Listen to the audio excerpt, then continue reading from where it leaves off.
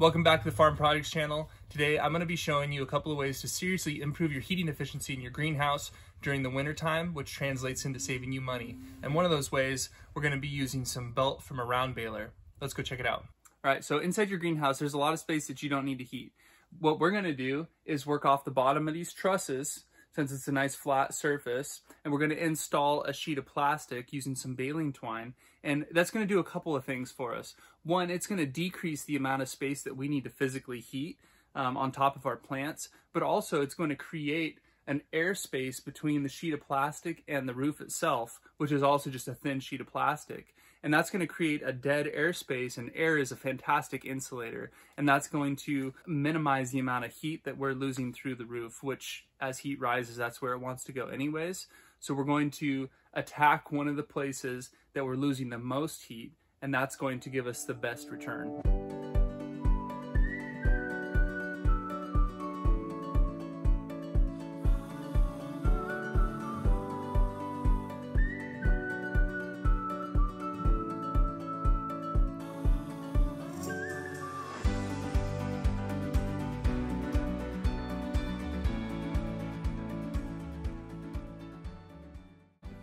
So right now I'm going along and I'm using these. These are clips used for barbed wire fence that hook onto the barbed wire, wrap around the T-post, and you twist it to fix the barbed wire to the T-post. These work really well for grabbing the twine in these long stretches where it tends to sag and then going poking a hole through the plastic and going up and around the bottom of the truss and that gives it a little bit more support.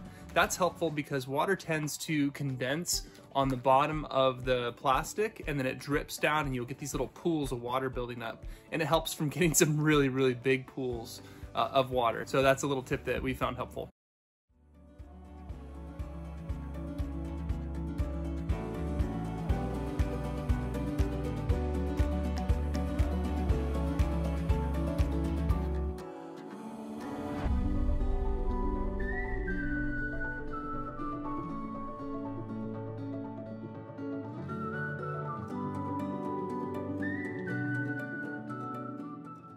All right, so we're about halfway done and it's a little bit of work, but it's not too bad, a couple hours. And the amount of difference though that this is gonna make in the heating bill that you have for your greenhouse, it, whatever work it takes and the, a little bit of money it costs to get a couple sheets of plastic and some twine, man, it's really well worth the effort.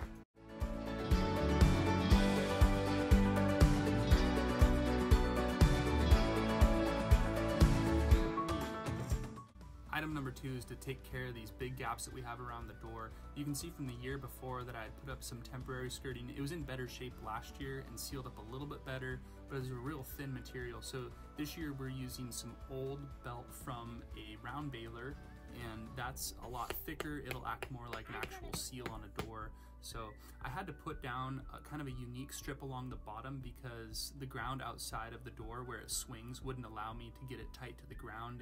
It, the door just wouldn't open. So I did this kind of as a temporary thing. I'll take it down in the summer so we don't trip over it a bunch. Um, but from there, we just put the belt all the way around the door on the inside so that when we pull it, it's really a tight fit for the door. All right, so we're all done with the door here and I really am happy with the way this sealed up. Before you could run your hand along and feel all these places where there was a draft, there was cold air coming in, and now I don't feel I don't feel anything along the whole thing. So that is great now when it's a, you know, it's kind of cold outside, but if we get some temperatures like we did last year where we were down in the negative 20s, oh man, that really makes a huge difference. So sealing up any drafty spots, for us, the biggest offender was our doors is a real win. So we got our draft sealed up around the doors, we got our drop ceiling put in. We're feeling pretty good now about the greenhouse going through winter. And if you have your own land, you know how good it feels to have things prepared for cold weather before the cold weather shows up. Hope you found this video helpful. Thanks for watching. And as always, we'll see you on the next one.